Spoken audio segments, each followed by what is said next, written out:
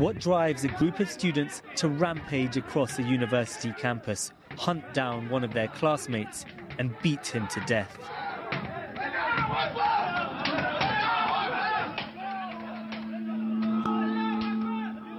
I'm Secunder Kermani, and for this edition of Assignment on the BBC World Service, I'm in Pakistan to try and answer that question and what it might mean for this huge Muslim country's volatile debate over blasphemy. And a warning some of what's to come might be inappropriate for some audiences. The victim's name was Mashal Khan. This is him talking to an online radio station about his interest in left wing books promoting social justice and redistribution of wealth. Mm-hmm. Our BBC team was one of the few outlets to cover his funeral back in April. Many Pakistani TV channels were too nervous about being seen to support someone accused of committing blasphemy. But his father helped change public opinion with a dignified and articulate response just hours after cleaning and burying his son's battered body.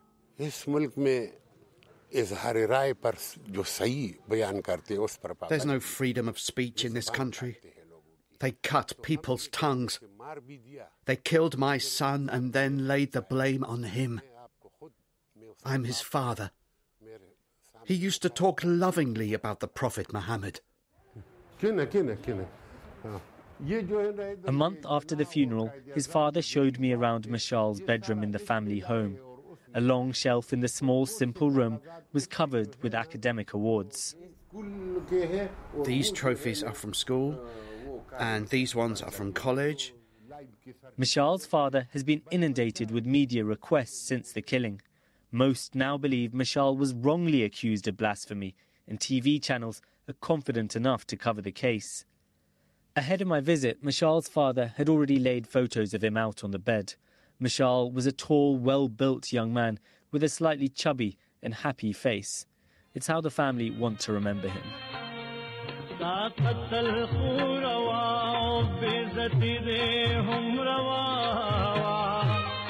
When his father played a song dedicated to Mashal,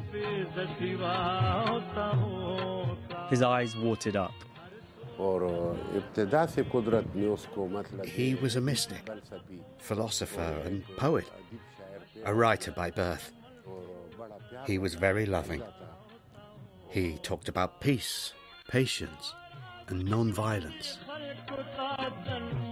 Mashal grew up in the small village of Zaida in northern Pakistan. It's a dusty place surrounded by green fields, similar to villages across the country. Mashal had opportunities many here didn't. He earned a scholarship to study in Russia a few years back.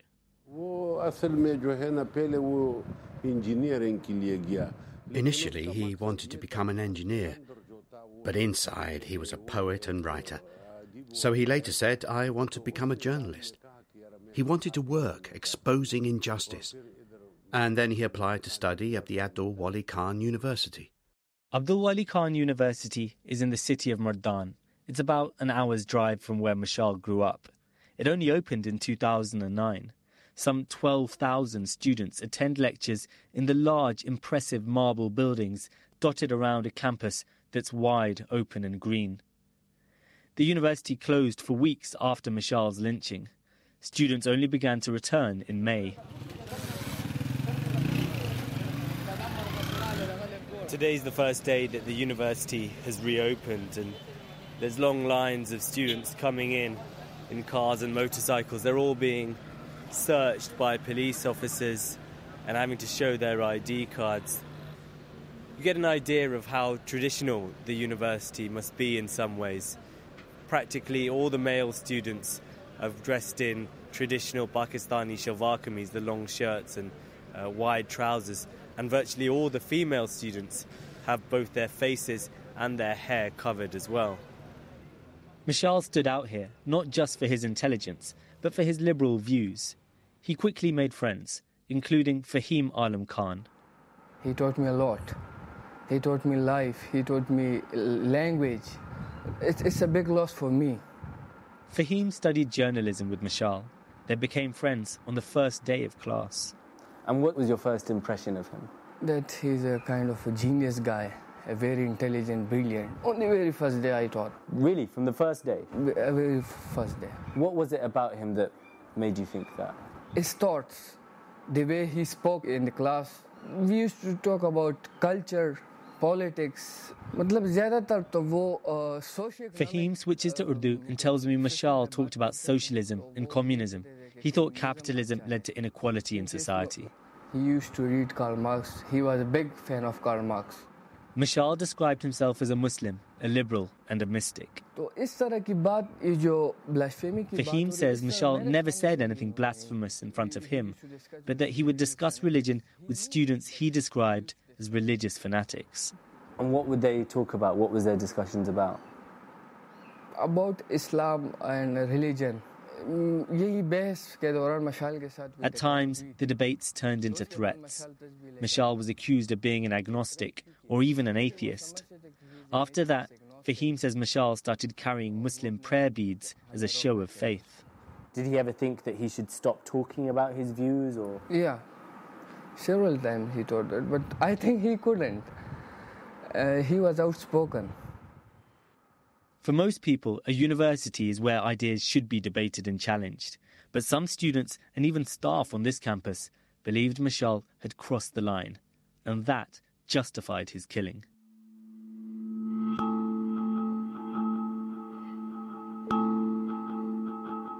To understand what happened to Mashal Khan, we need to understand blasphemy in Pakistan. It's hard to overstate what a powerful issue it's become in recent years. Blasphemy is a crime. The Penal Code contains clauses outlawing the insulting of any religion and defiling the Quran.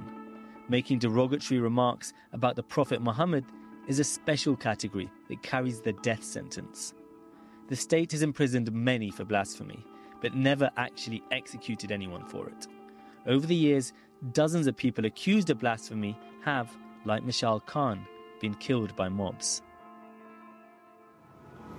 In Pakistan, it's not just particular individuals or certain religious lobby groups that are making an issue out of blasphemy.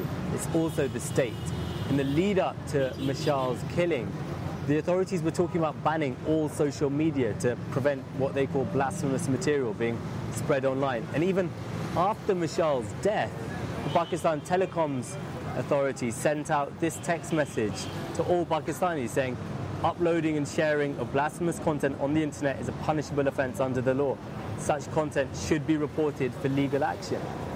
And what critics say is that this kind of message encourages a kind of vigilantism. If you spot a blasphemer near you, call us up. If you see something blasphemous online, let us know. Lawyer Jibran Nasir mocks the idea, but knows the issue is deadly serious. He supported Mashal Khan's family and others accused of blasphemy. For the past four months, I've been waiting for a mob to surround me because I have personally been exposed to that threat. I have been called an atheist, a blasphemer, somebody who engages in propaganda against Allah, the Prophet, and the Quran. But whatever luck, it hasn't happened. He says officials are creating a climate of fear around blasphemy. The blasphemy law does not have an exhaustive definition, or for that matter, any decent definition of what really is blasphemy. By putting out such an ad, you've left it to the acumen of a layperson to describe for himself what is blasphemy. That blasphemy law has a history of being used for ulterior motives in this country. At one time, the notion or the thing or plan of action in Pakistan was that if somebody wanted to get someone killed, they'll go hire what we came to know as target killers, mercenaries. Now, just release a rumor that this guy committed blasphemy. He'll either be killed or forced to leave the country. Blasphemy allegations are being used as a way to settle personal feuds. And Mashal was outspoken, charismatic, and high achieving. There were plenty of people who resented him.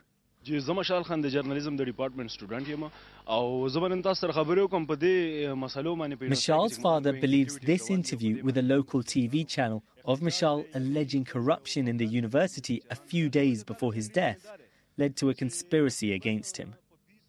And police have collected evidence suggesting student politicians, jealous of his influence, wanted him expelled. we don't know how much, if at all, these issues contributed to Mashal's death.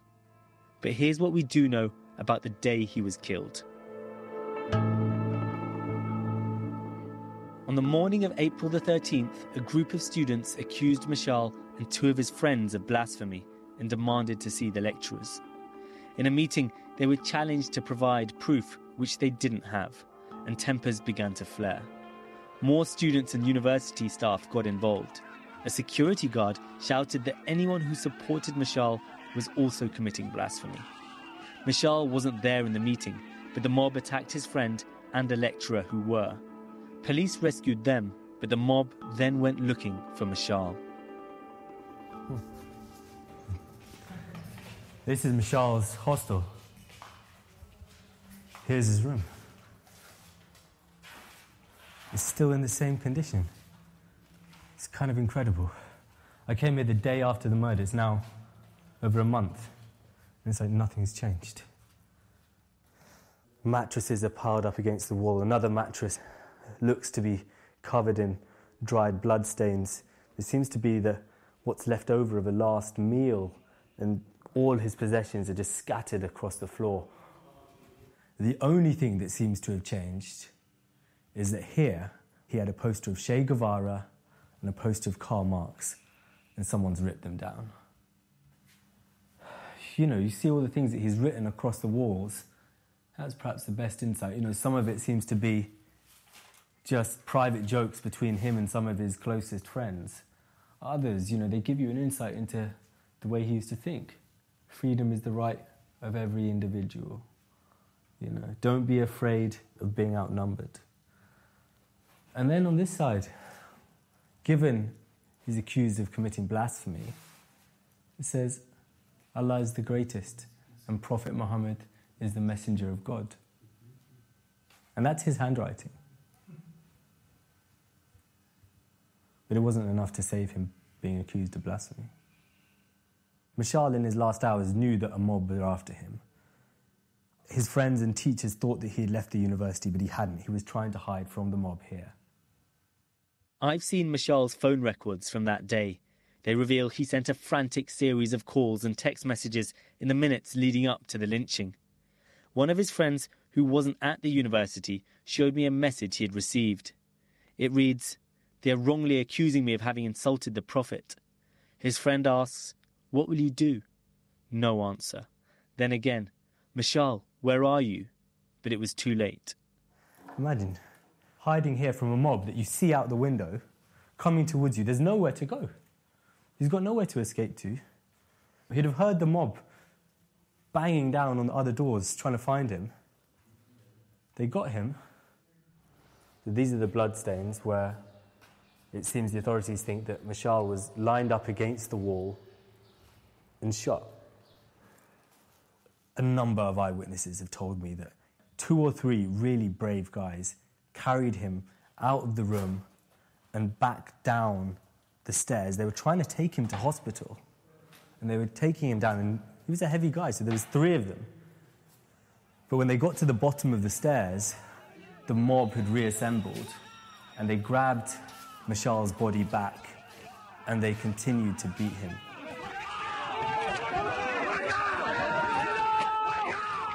Mashal's friend Fahim was there, watching in horror.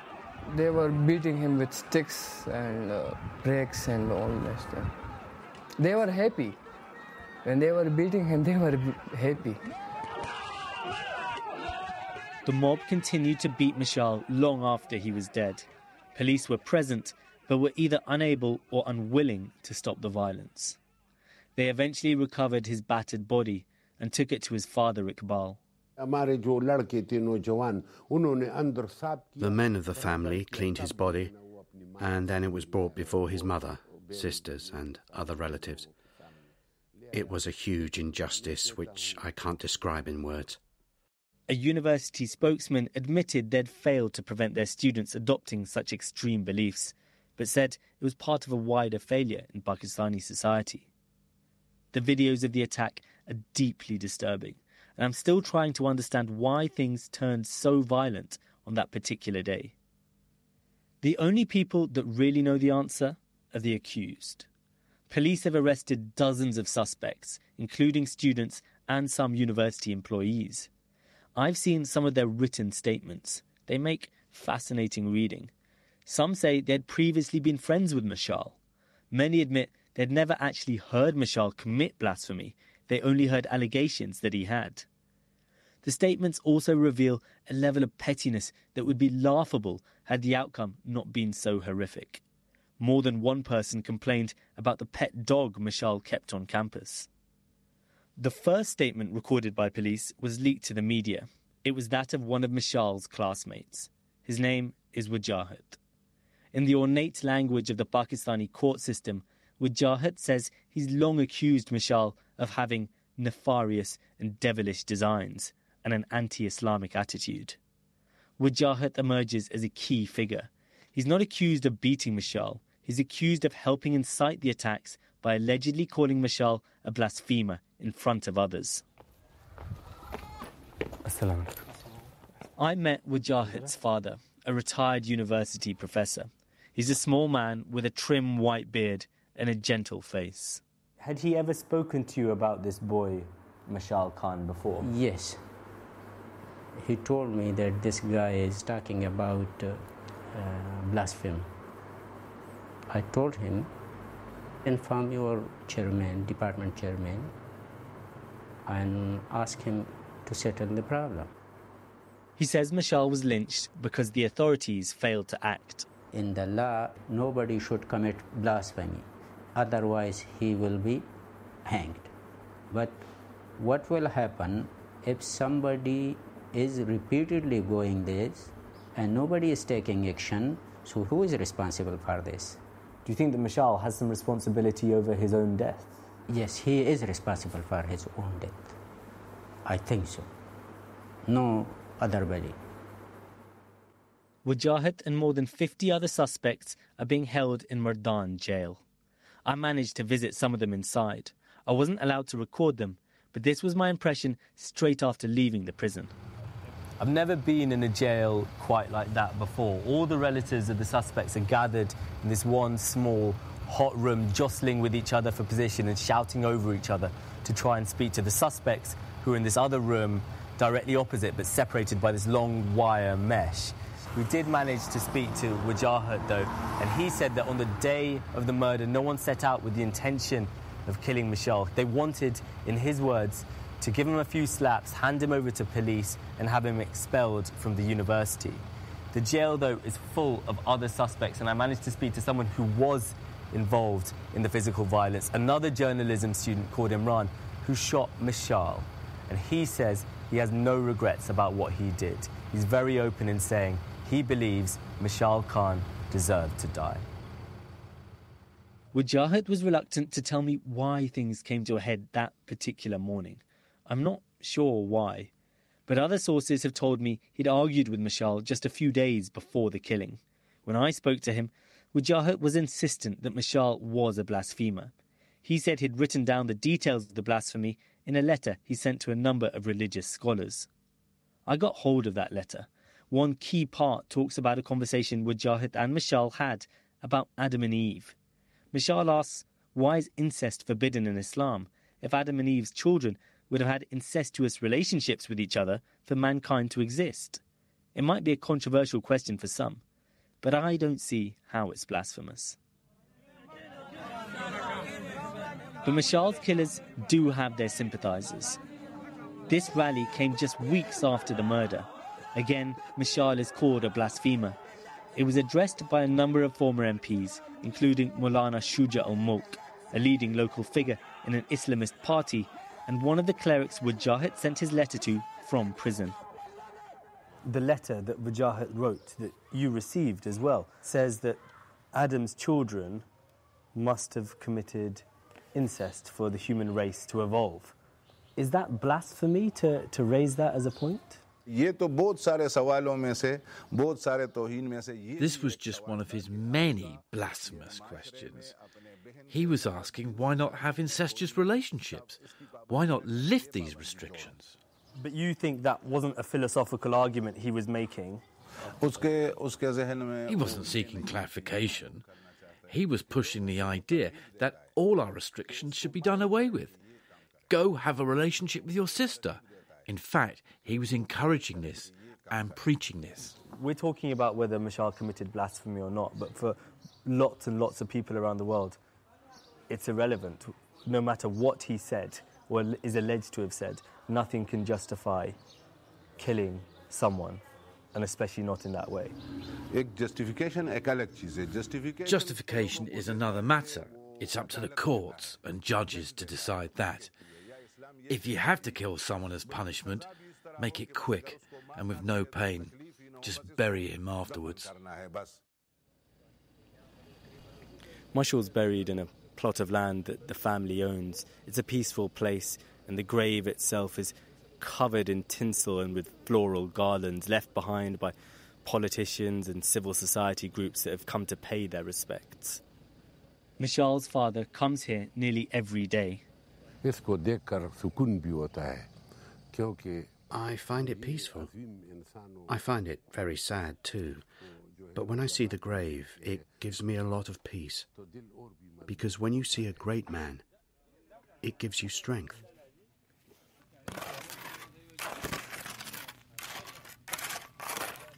Just a few paces away from the grave, the family are paying out of their own pockets to construct what's called a hujra or a guest house so that people who come and pay their respects to Mashal have somewhere to wash and somewhere to rest. They say they've had people come from as far away as Kabul in Afghanistan. The money was intended for his education and his wedding, which of course will never happen. So we're using it to build this guest house. It's the least we can do. Anyone from any religion or political affiliation can come here, anytime. It's clear that Mashal's story has affected many in Pakistan.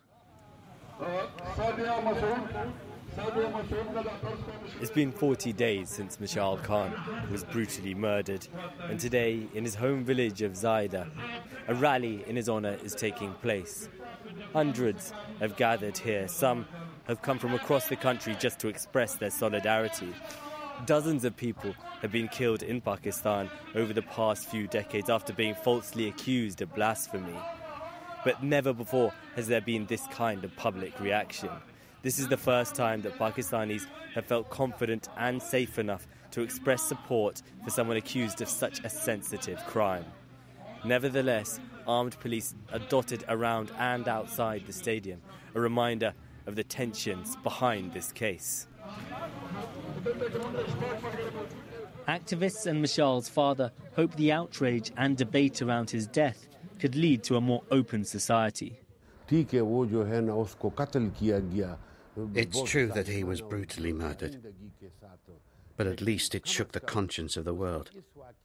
And those peace loving, non violent people came here to our home from across Pakistan to offer condolence and support. They are flowers in this country, and we are now together. Many in Pakistan across the political spectrum are sympathetic to Mashal's case, but for a great deal, that sympathy rests on believing Mashal was wrongly accused of blasphemy. They're focused on punishing Mashal's killers, not examining blasphemy laws themselves, which remain popular. You can see the jail from here, can't you? Yeah, this is just 350 meter, Uh, 250 meter. In Mardan, the father of Wajahat, accused of inciting the mob, lives in the shadow of the jail that now houses his son. He worries what will happen to him, and also what the future holds for Pakistan. For him, Mashal represents a threat to the country's Islamic foundations. If now we are becoming atheist, and the people are free to make people atheist, then what was the need of making Pakistan? And do you think this atheism is spreading in Pakistan? I think it is because people like you and the uh, media who are giving more and more attention to such atheistic uh, views, of course, it will grab the whole country in very near future because nobody will be safe. Their honor will not be in safe hands. And we will lose our identity. That's the father of one of the accused. He's the polar opposite to the father of the victim. The difference between their views reflects the divisions within Pakistan. We don't say that Mashal's death will bring an immediate revolution in the society, but we need to start a tradition of dialogue and ideas. This is what will bring Pakistan out of crisis. And we're a little hopeful that these ideas will take hold, with help from the people who are coming forward. Then there will be no more darkness. There are still many questions about Mashal's death. Could the police have done more to prevent it? Could the university? And could the killing prove some kind of turning point? Since his death, there have been other mob attacks targeting alleged blasphemers. The court has even sentenced one man to death for supposedly insulting the Prophet Muhammad on Facebook. Mashal's family are desperate for answers and to ensure no one else goes through what they have. But his father tells me when it comes to real justice in Pakistan, no one has ever received it before.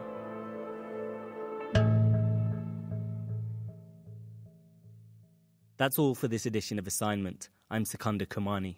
A lot of people helped bring you this story. Thanks to Usman Zahid for his work on the ground with me here in Pakistan, Masood Khan for the accompanying TV pieces, to Neil Rizal for the radio production you just heard, and to Radio Free Europe for the clip of Mashal talking at the beginning of the programme. For more gripping audio reportage, subscribe to the BBC World Service documentary feed wherever you get your podcasts. Thanks for listening.